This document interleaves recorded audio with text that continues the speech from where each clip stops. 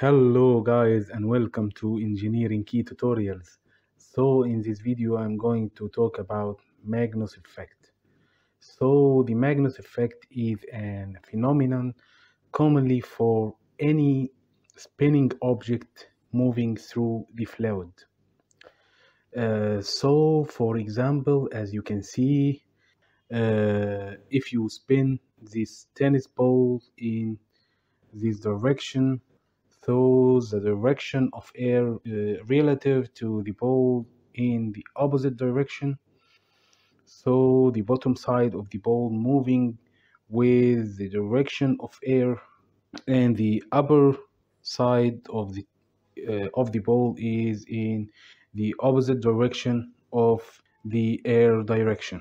So due to viscosity uh, the air in the bottom side will stick uh, into the ball and stream get curved with rotation direction.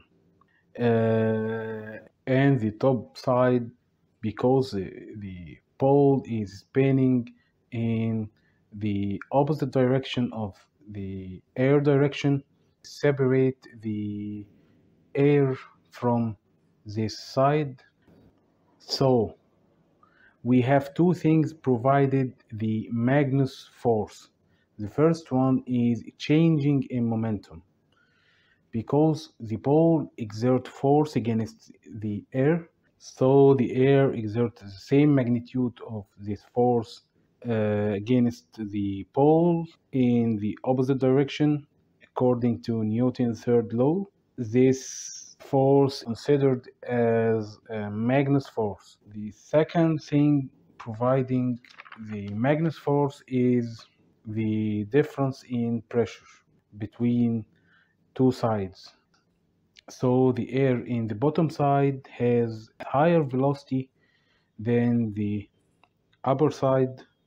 So according to Bernoulli's principle, the pressure is inversely proportional to the velocity. So we have difference in pressure between two sides and this difference in pressure also providing the Magnus effect. So uh, we have uh, a lot of a lot of applications for this Magnus effect in the sport field, also in sailing field. In the next slide, you can see examples of these applications. Uh, I hope you enjoy this video